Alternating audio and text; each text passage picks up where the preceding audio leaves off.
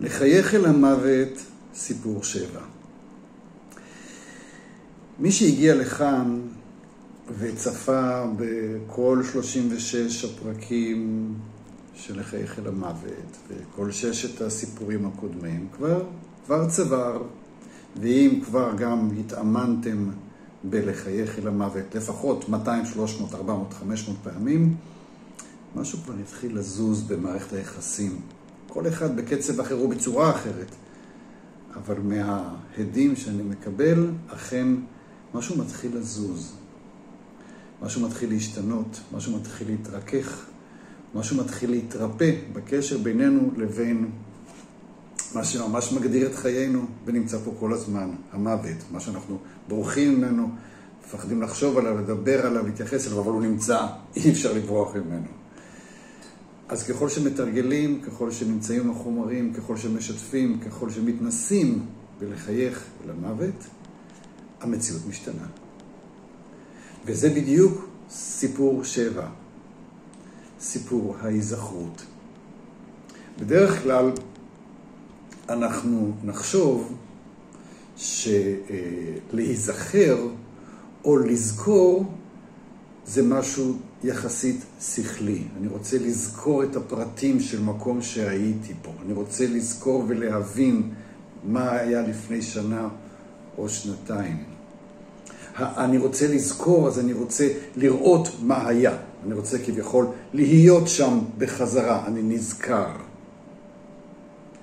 אז כשאנחנו מחייכים אל המוות, אנחנו בעצם מפעילים סוג אחר של היזכרות.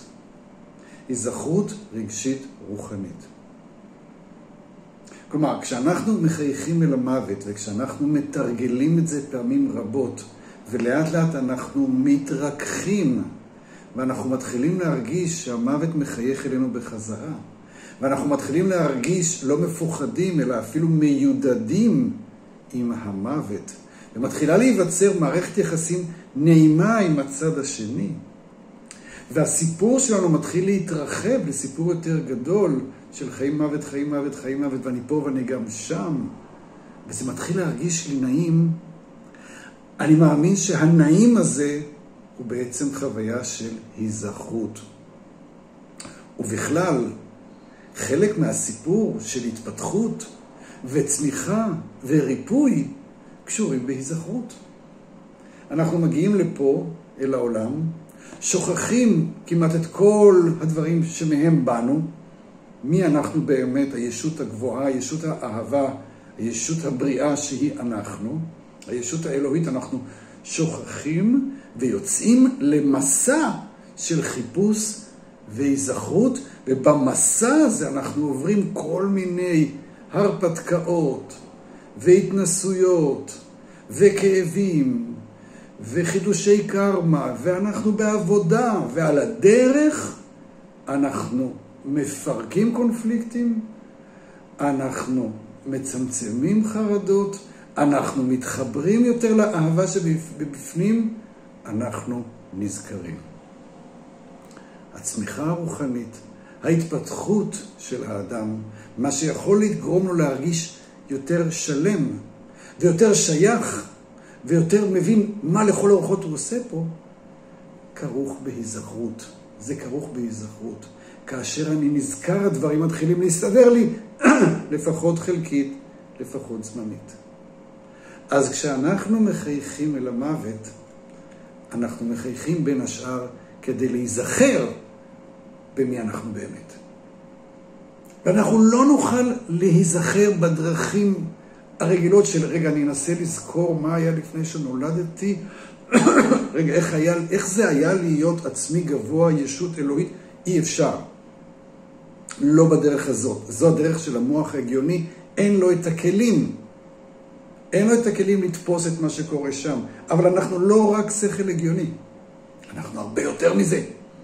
יש לנו גם שכל יצירתי, רוחני, רגשי, אינטואיטיבי. אנחנו פונים אליו.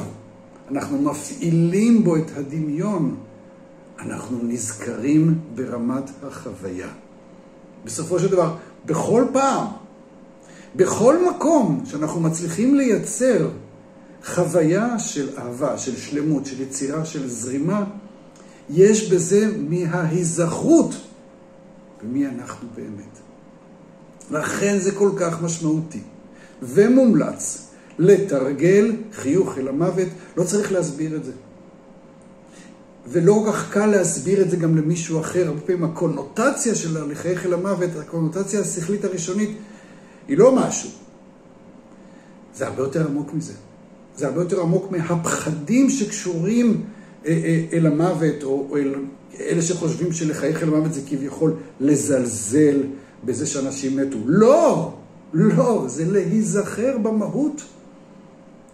זה להיזכר בקיום שלי שם, שנמצא שם כרגע, ומחכה לתקשורת איתי כרגע, כרגע, שאין כל כך נפרדות בינינו. ואיך התקשורת הזאת מתקיימת? על ידי מחווה חיובית. מחווה שעושה טרנספורמציה, טרנספורמציה, טרנספורמציה מיידית ומסלקת את הרגלי הפחד ומכניסה במקומם חוויה רגעית של חיבור ואהבה, חוויה של היזכרות. עכשיו, אני לא אמור לנסות לחשוב, רגע, מה בדיוק אני נזכר? מה, מה, מה, אז מה זה מזכיר לי? לא. זו היזכרות רגשית רוחנית. זה מין חוויה עוטפת, נעימה, מרגיעה. אנחנו נזכרים מי אנחנו באמת ברמת החוויה. ואנחנו לא נדרשים ולא אמורים להסביר את זה, אנחנו לא צריכים להעביר את זה למימד ההיגיון, אנחנו יכולים להישאר עם זה. ולתרגל את זה שוב ושוב, וככל שאנחנו נזכרים ברמת החוויה, אנחנו לאט לאט נזכרים בעוד מקומות בתחומי החיים שלנו, איך אנחנו יכולים להיות יותר ביצירתיות ואהבה גם שם, ואז להיזכר יותר ויותר. אז לחייך אל המוות, זאת גם פעולה של היזכרות, היזכרות שאין בה מילים ואין בה משפטים ואין בה היגיון, אבל היא חזקה והיא מוחשית והיא נוכחת והיא מתגברת ומתייעלת ומתרחבת מחיוך לחיוך ומתרגול לתרגול.